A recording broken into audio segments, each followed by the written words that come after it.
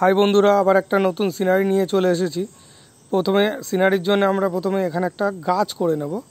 একটু বড় ধরনেরই গাছ করব এবং গাছটার তলাটা আমরা বাঁধানো করব। বাঁধানো যেমন হয়, তেমনই একটা গাছ আমরা এখানে বানাবো।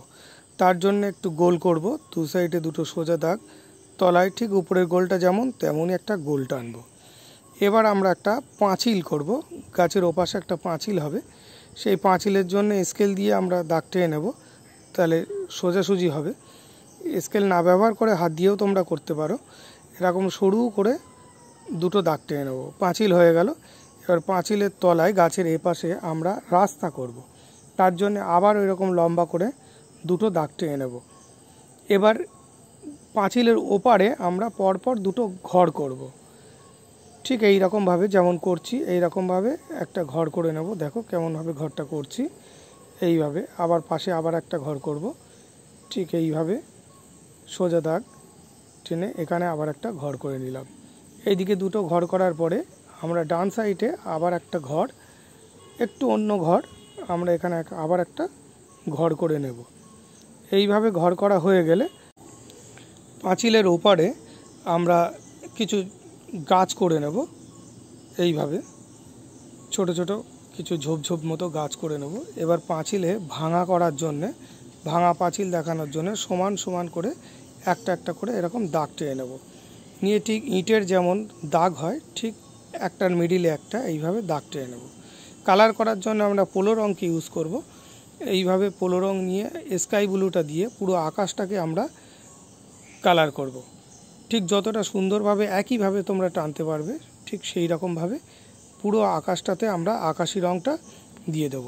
আকাশ রং হয়ে গেল। এবার বড় গাছটা করার জন্যে তলায় পুশিয়ান ব্লু ইউজ করব।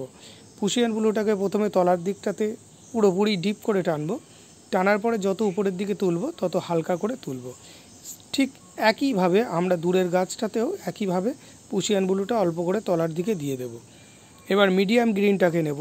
নিয়ে পুশিয়ান ব্লুর উপরে সুন্দর করে মিশিয়ে মিশিয়ে তলার থেকে ডিপ করে আস্তে আস্তে উপর দিকে হালকা করে তুলতে থাকব। ঠিক যেমনভাবে টানছি, এইভাবে তলার দিকে দেখো ডিপ করছি, আস্তে আস্তে যত উপরে উঠবে তত আস্তে আস্তে হালকা হতে থাকবে। এইভাবে হালকা করে দূরের গাছগুলো এইরকমভাবে করে নেব। যে ঝোপগুলো আছে সেইগুলো একই সেম এই গাছ যেমন হবে ওই গাছ তেমন হবে। এই গাছ করার পরে এই গাছ একটু স্যাপ গ্রিন দিয়ে দেবো দূরের গাছগুলোতে। দেখো অল্প অল্প করে একটু স্যাপ গ্রিন দিয়ে দিচ্ছি। এখানেও একটু অল্প করে স্যাপ গ্রিনটা দেবো। স্যাপ গ্রিন ইউজ করে আবার হালকা করে উপরে তুলব। তুলে পুরো মিডিয়াম ইয়েলোটা আমরা সম্পূর্ণ গাছের উপরে দিয়ে মিশিয়ে দেব।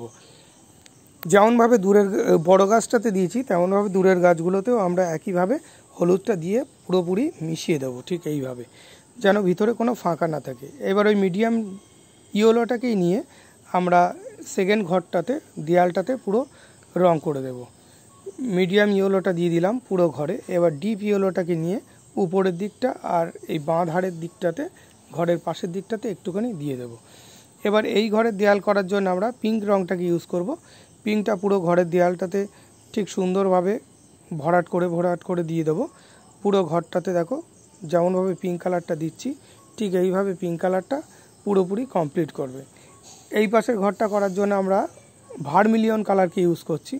ভারমিলিয়ন কালারটা ধারের দিকে পুরো ডিপ করব আর ডান সাইডের দিকে অল্প করে একটুখানি ফাঁকা রাখব। এবার পিচ কালারটা দিয়ে ওই ফাঁকা জায়গাটা পুরোটা পূরণ করে দেব। তাহলে এদিকটা একটু হালকা মনে হবে, ওই দিকটাতে একটু ডিপ মনে হবে।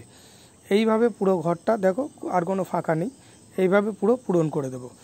এবার আমরা এই জানালাগুলোতে স্কাই ব্লু দিয়ে হালকা করে টেনে দেব। জানালাগুলো স্কাই ব্লু কালার করব। এখানে একটু রেডটা ইউজ করব। এবার ভাঙা অংশটা করার জন্য প্রথমে একটু অরেঞ্জ তারপরে পুরোপুরি পিচ কালারটা পুরো মিশিয়ে দেব। দেওয়ার পরে বান্ড সায়না বা ব্রাউন কালারটা দিয়ে আমরা এই দাগগুলোকে টেনে দেব। ইটের যে দাগগুলো আছে সেই দাগগুলোতে একটু বান্ড সায়না দিয়ে এরকমভাবে মিশিয়ে মিশিয়ে টেনে দেব। তাহলে ইটগুলো ভালোভাবে বোঝা যাবে। এবার পাঁচিলটা করার জন্য আমরা উপরে ডার্ক ভায়োলেটটাকে ইউজ করব ডিপ বেগুনি। ডিপ বেগুনি কালার উপরে আর নিচে একটু ডিপ করে টেনে দেব। এইটা পুরো টানা হয়ে গেলে হালকা করে একটু মেশাবো। মেশানোর পরে রেড ভায়োলেট মানে হালকা বেগুনিটা দিয়ে আমরা পুরো পাঁচিলটাতে কভার করে দেব। পুরো পাঁচিলটা ভরাট করে দেবো এই রেড ভায়োলেট বা হালকা বেগুনি দিয়ে।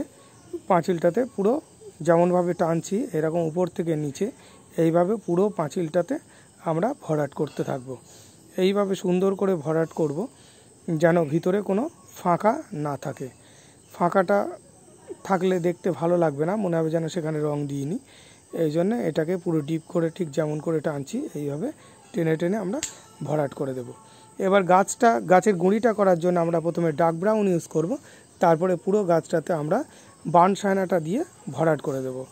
এবার ফুটপাথটা করার জন্য আমরা গ্রে কালারটাকে ইউজ করব, এইভাবে গ্রেটা দেব, আর এই গাছ বাঁধানো অংশটাতে গেড়ে দিয়ে পুরো পূরণ করে দেবো। তার আগে একটু পুষিয়ান বুলু দিয়ে নেব, দিয়ে দাগ টেনে দেবো।